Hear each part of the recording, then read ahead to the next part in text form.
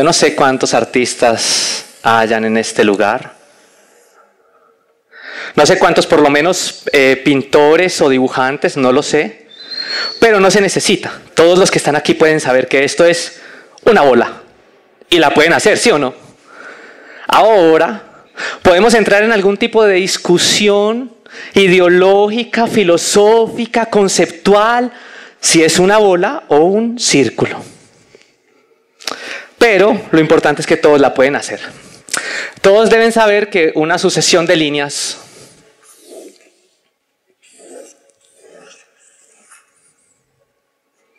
forman un plano.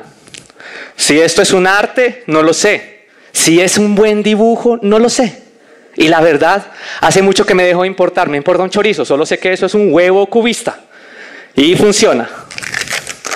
Funciona para mí es para ti. Ok. Esto es media bola o medio círculo, como usted lo prefiera. No voy a discutir con usted.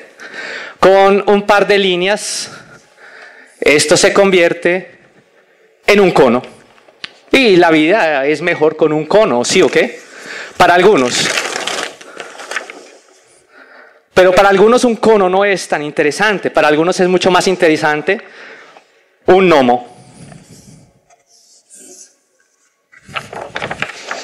Un gnomo. Y este, este personaje y yo nos conocemos de toda la vida y estoy seguro que ustedes también. Es una bola, una línea, pies, manos. Vamos a ponerle deditos, ¿ok? Este personaje es el muñeco de palos. Nos conocemos de toda la vida. ¿Es arte? No lo sé. ¿Es un buen dibujo? Tampoco lo sé. Pero lo importante es que es un dibujo. Y a eso me dedico yo. Soy el hacedor de dibujos. Me proclamé el hacedor de dibujos. Me autoproclamé así. Porque hubo un momento en la vida donde me fastidié con tanta discusión intelectual, filosófica y a veces hasta religiosa sobre qué era arte y qué no. Y me cansé de eso. Así que me autoproclamé el hacedor de dibujos.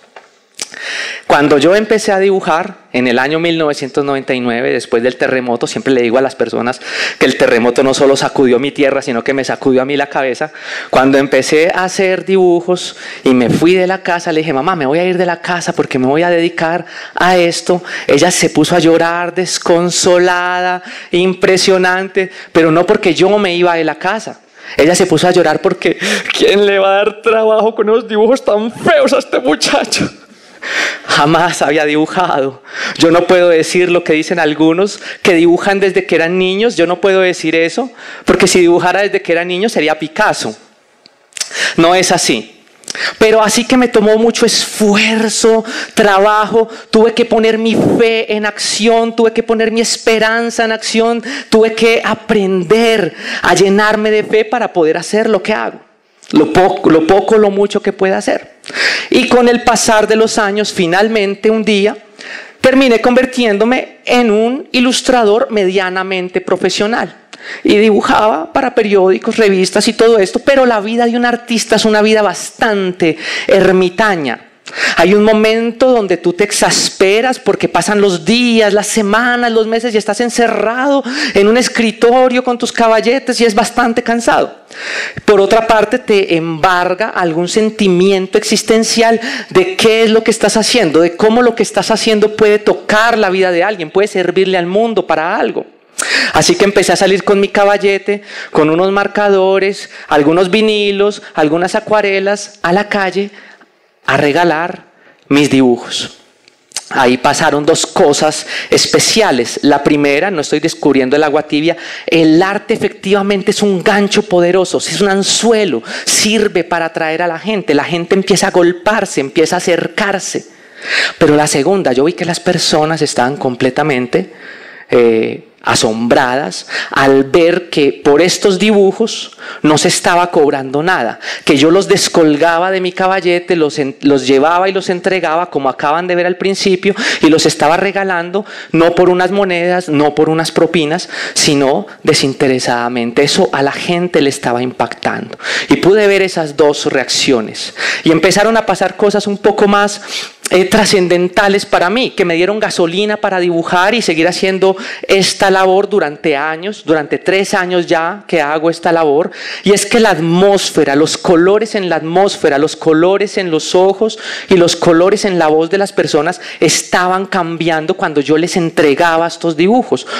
E, de hecho, existen casos de personas que me dijeron en algún momento, oye, yo hoy tenía pensado acabar con mi vida. Hoy yo tenía pensado terminar con mi vida, pero voy a tomar este dibujo que tú me diste como una señal. Y puede que yo no sea un gran artista, pero mi estilo es una mezcla como de poesía. Uno de mis grandes referentes es Octavio Paz, ¿sí? Una mezcla de poesía con cartoon, entonces así que termino haciendo una especie de vaca y pollito poética. ¿Sí? Suena extraño, pero funciona muy bien en la calle. es, un estilo amable, la gente lo recibe. Así que entendí que tenía que esforzarme un poco más en los mensajes y, entregar, seguir entregando estos mensajes. Pero la gran epifanía de toda esta historia está en que yo pude ver que las personas no se sentían atraídas por el arte que yo hago. Ni, ni, las líneas, ni las manchas, ni en mi día más inspirado las era lo que atraía a las personas.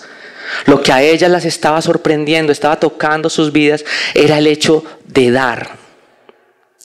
Así que eso trajo a mi mente que el verdadero arte es dar. Ya lo dijo alguien más famoso que yo. Es más bienaventurado dar que recibir. Empecé a notar que eso estaba teniendo un efecto sobre la atmósfera del sector donde, donde todo sucedía, en las personas. Y aunque ustedes no, no lo crean allá afuera, hay un montón de gente, y siempre lo digo, no estamos hablando solamente de venezolanos o de indigentes. Todas las personas tenemos una batalla fuerte que lidiar cuando tú le das algo a alguien, esa persona entiende que no está sola. Esa persona empieza a existir y deja de ser un punto azul, rojo, blanco o negro en el transporte público. Esa persona en ese momento sabe que existe. Hay una cifra que yo quiero que sepas, es del año pasado. Es la cifra de robos y de atracos en una ciudad como Bogotá. Estamos hablando de 96 mil personas al día son atracadas en sus dos modalidades, de quieto y de sano. Para los que no sepan, los voy a ilustrar. De quieto es manos arriba, calzones abajo, ¿sí? ¿Ok? Y de sano es que te sacan todas las cosas sin que te des cuenta y te dejaron sano, ¿ok? En las dos modalidades, 96 mil personas al día. Mi propuesta es a través de estos dibujos que hago lo aprendí, que si todos nosotros aquí y otra gente que logremos contagiar allá afuera, nos sumamos y nos unimos para todos los días dar algo a alguien en la calle, podemos generar un cambio en la atmósfera de esta ciudad. ¿Qué tal si un día gente que venga de otros países empieza a decir, oye, allá en Colombia, esa gente siempre se te acerca para darte algo, esto es increíble, vamos todos para allá. Sería increíble. Un humorista paisa muy famoso dice lo siguiente, cada colombiano que nace tiene 41 millones de problemas. Porque cada otro colombiano es una nación enemiga. cada persona en el, en el, transporte, en la calle, en el centro comercial, es, es un enemigo. Eso no puede ser. Tenemos que parar con eso ahora. Porque una casa dividida contra ella misma no va a prosperar.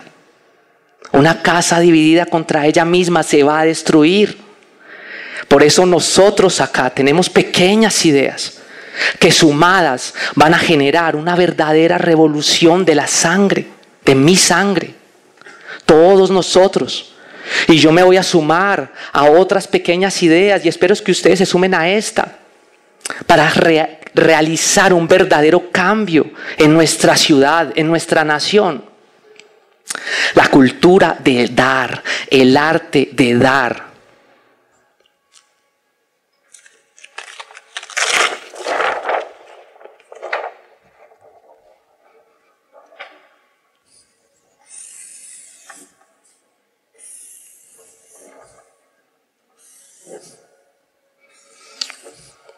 Yo les doy dibujitos, pero tú puedes darle algo desde tu actividad. No importa si eres un médico, un arquitecto, un taxista, un humorista, tú puedes darles algo. Hay un montón de gente allá afuera esperando a que tú te acerques y le brindes un poco de esperanza. Yo les voy a dar dibujitos. Cada uno de ustedes les puede dar algo. Espero que lo reflexionen esta noche en sus casas. Estoy seguro que pequeñas iniciativas, dejando de pensar que yo tengo la panacea para el mundo, dejar de pretender que quiero ser la próxima persona famosa en Forbes, van a cambiar las cosas. Los invito a que practiquen el arte de dar. Gracias.